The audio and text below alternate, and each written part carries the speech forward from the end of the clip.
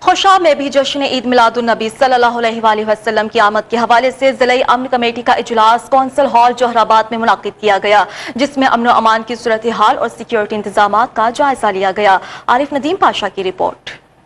جشن عید میلاد النبی صلی اللہ علیہ وسلم کے موقع پر امن و اما کے قیام اور سیکورٹی انتظامات کا جائزہ لینے کے لیے ضلعی امن کمیٹی کا اجلاس منعقد ہوا۔ ضلع کونسل ہال جراباد میں منعقد ہونے والے اجلاس کی صدارت D C O Khushab Ganza Murtaza نے کی، جنہوں نے اپنے خطاب میں کہا کہ ضلع کے امن کو بحال رکھنے کے لیے علماء اکرام سمیت تمام مکاتب فکر کا ضلعی انتظامیہ کے ساتھ تعاون قابل ستائش ہے اور ربیع الاول کا مہینہ رحمتوں اور برکتوں کا مہینہ ہے، اس لیے ہمیں بارہ ربیع اول کا دن اپنے دین کی ترجمانی کرتے ہوئے پرامن ماحول میں گزارنا ہوگا۔ اس موقع پر علماء اکرام نے ڈی سی او خوشاب کو جلوسوں کے روٹس کی صفائی سمیت دیگر مسائل سے آگاہ کیا، جنہیں ڈی سی او نے حل کروانے کی یقین دہانی کروائی۔ تمام مکاتب فکر کو،